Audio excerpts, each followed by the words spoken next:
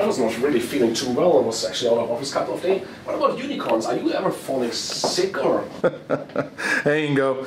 hey, great. It's uh, sorry to interrupt your phone call, but it's time for Ooh, five minutes with Ingo. five minutes with Ingo. Ingo. Oh, Um, so today we are talking about k-means clustering. okay. And clustering in general is an interesting technique for segmenting data sets um, into, into natural groups. Okay, so let's have a look at, uh, at those rocks here. Well, you know those rocks here. Those are, those are the things we are we're actually giving to people uh, to recognize if they're doing a good job. Oh. don't go away. Okay. Thanks. Oh, good job. Um, so that's what we are what we're using here at RapidMiner because we are a startup. Well, yeah, all- that's all true. we can do.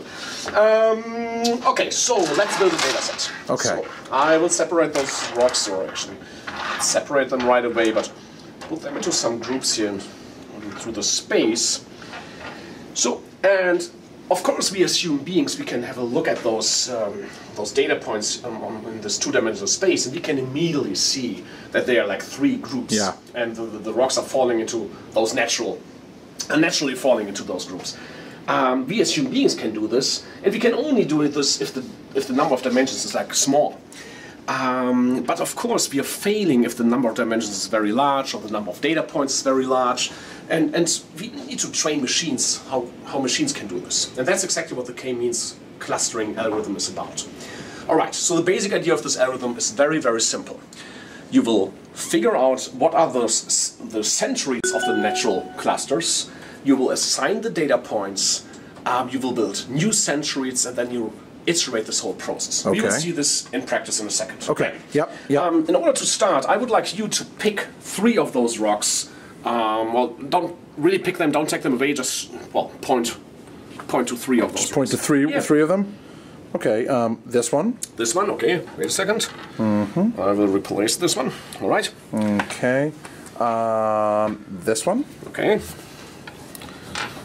And I'm gonna get tricky here. Oh, This one. This one here. Yes. Okay. Cool.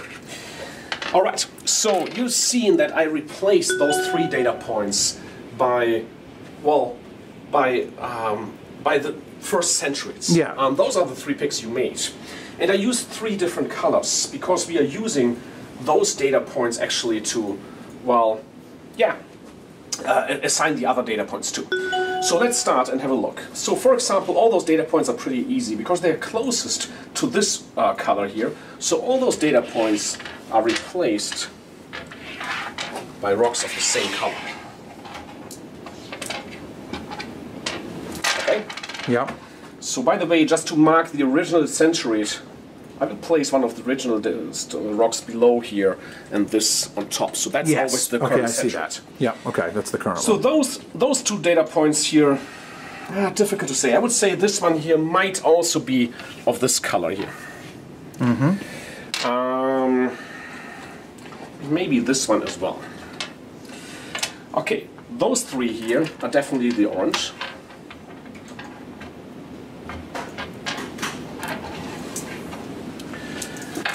And I would say oh, difficult, but I think it's closer to the to the white here. Um, all right.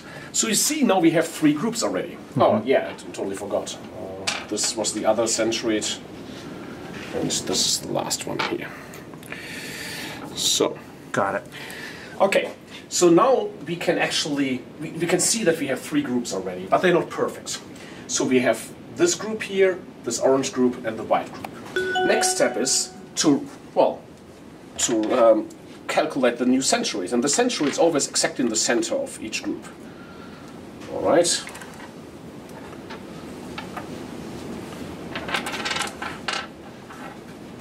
And now we assign each data point again. So in this case, now those two are closer to the orange. So we replace them by the orange one.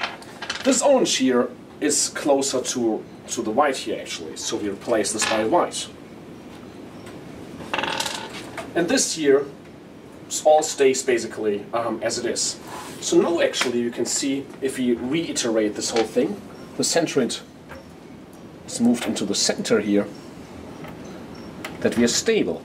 So now the cluster assignment is not changed at all. And we got our three perfect groups. So I take away the centroids, and you can see the three groups we have seen in the beginning are now perfectly separated. And that's exactly the goal for the k-means clustering algorithm, and that's how it works. Cool. Thanks, Ingo. Thanks. Hey, man, I hope you feel better. Well, yeah, well, And this has been your five minutes with Ingo.